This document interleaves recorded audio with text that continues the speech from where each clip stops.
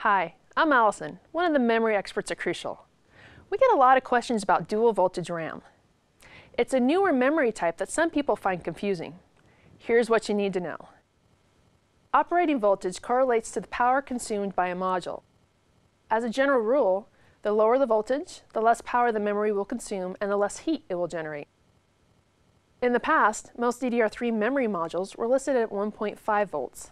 More recently, Crucial.com started offering dual voltage 1.5 and 1.35 volt modules, called DDR3L.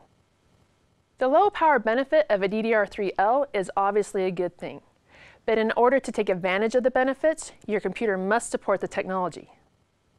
First, the system must be able to deliver the lower 1.35 volt supply to the memory in order for any DDR3L module to operate in that voltage mode.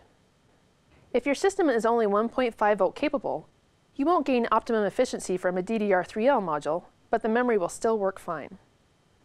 Second, all the installed modules will operate at the lowest voltage mode they all have in common, and that the system supports. For example, if your system has one DDR3 module and one DDR3L module, both modules will operate in the higher 1.5 volt mode. Conversely, a pair of DDR3L modules will operate at the lower 1.35 volts if the system supports the mode. If all this voltage talk has your wires crossed, just remember, you can find and choose the best upgrade option for your computer using the Crucial System Scanner or Crucial Memory Advisor. Both of these handy tools can be found exclusively at Crucial.com. For more videos like this one, check out our YouTube channel.